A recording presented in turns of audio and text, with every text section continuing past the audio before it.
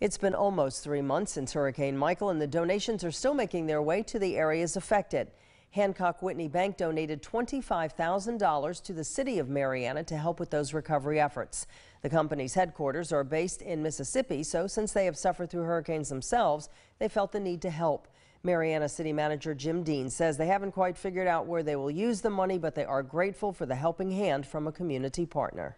The city has been, you know, really good to Hancock Whitney Bank since we've you know, been in town, and so the bank wanted to give back to the city and help them during this rebuilding process. But whenever they made that phone call, it was kind of, you know, caught us off guard. You know, $25,000.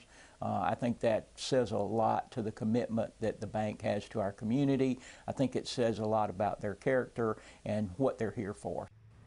Dean says whatever they do with the donation will be used to help the citizens of Marianna.